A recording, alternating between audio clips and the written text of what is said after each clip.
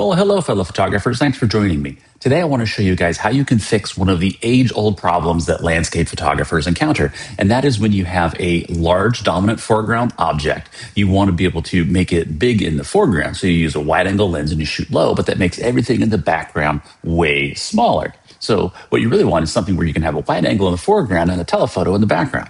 Let me show you how you can solve that in effects using the new split field filter. So I'm going to click on add filter and I'm going to select split field. What split field does is it lets you magnify and move a portion of the image within the frame so that you take a background region and make it bigger. So you can see here, I've got an on-screen control. This lets me control where that line of division is at. I can control it horizontally. I can also rotate it and I can also adjust the transition, how quickly it transitions between the original and the larger scaled version. So for a photo like this, I could easily grab the scale slider and I could make it quite a bit larger.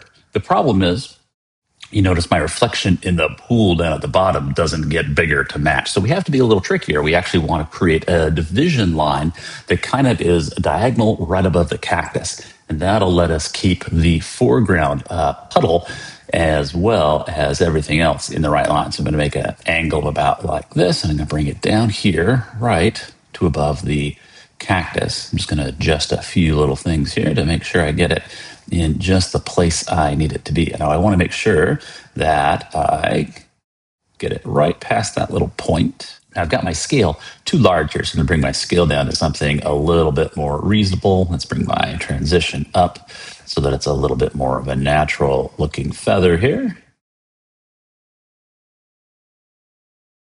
There we go, until I get something about like that. Let's turn that on and off so you can see the difference. There's before and there's after. That let me scale a large portion of my image larger while keeping my foreground consistent. This didn't require creating multiple layers or complex masks to be able to do it.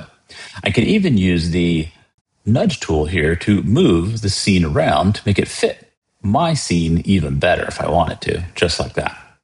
Again, let's take a look at a before and an after. There's before, and there's after, just like that. All right, that's the split field filter in effects. Thanks for watching.